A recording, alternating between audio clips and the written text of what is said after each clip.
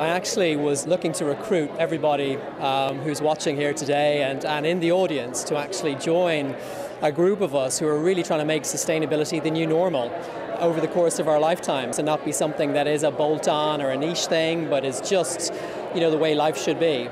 And the best place to start doing that is actually with millennials because they're already you know, amazing at doing this. They just need their voices to, to be heard and they need their actions to count and they need a global platform that can enable that. We want to continue the conversation okay. and we're, we're calling it new normal. So hashtag, hash, hashtag new normal um, is the way that we want to you know, hear people's ideas around how you know, we can really achieve scale. It's a discussion and you know, very much about trying to seize the momentum that you know, this wonderful summit gives. So the purpose of BT is to use the power of communications to make a better world, um, which is you know, something we're all fascinated about doing.